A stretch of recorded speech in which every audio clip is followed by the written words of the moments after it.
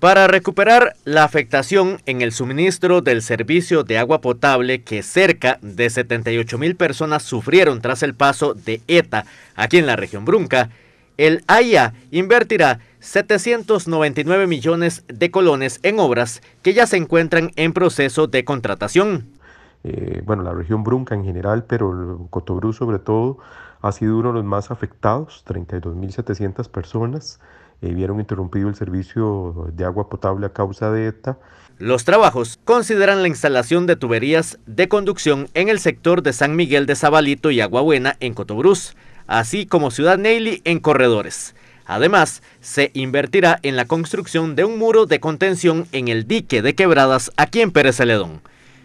La primera de estas contrataciones inició labores en la instalación de una tubería de conducción para los habitantes de Ciudad Neily, así como en Aguabuena.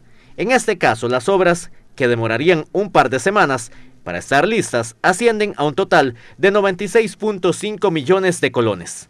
La afectación en el distrito de Aguabuena en Cotobruz ha sido tal que aún no se restablece el servicio para cerca de 7.380 personas, a quienes se les continúa suministrando el agua potable por medio de un camión cisterna.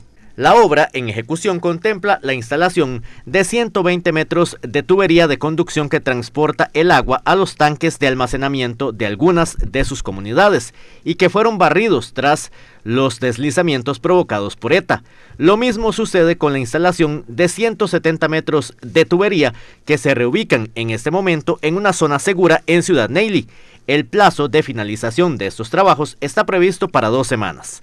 Un total de 32.700 personas del cantón de Cotobruz vieron interrumpido el servicio de agua potable a causa de ETA y el AIA ya logró restablecerlo a un 77% de los afectados. La idea es restablecer por completo en el menor tiempo posible.